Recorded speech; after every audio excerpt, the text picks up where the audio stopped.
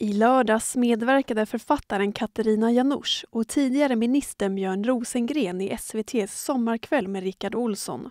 De var inbjudna för att diskutera mediedrev, men SVT klippte bort bråket mellan de båda och nu anklagar Janouch Rosengren för att ha mobbat och förminskat henne. Han var den mest osympatiska människa jag någonsin har träffat, säger hon. Samtidigt tar Björn Rosengren lätt på kritiken. Gör man saker, för en diskussion och driver en linje så får man räkna med att man får motstånd, säger han. Det var i ett inlägg i sin webbtidning Katarina Magasin som Janouch gick till angrepp mot Björn Rosengren. Hon hävdar att hon blev avbruten, tilltryckt och mosad och menar att han har en unken kvinnosyn.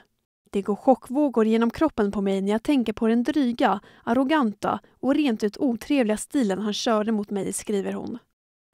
Janouch har inte velat se den slutgiltiga redigeringen av programmet då hon har mått så dåligt på grund av händelsen.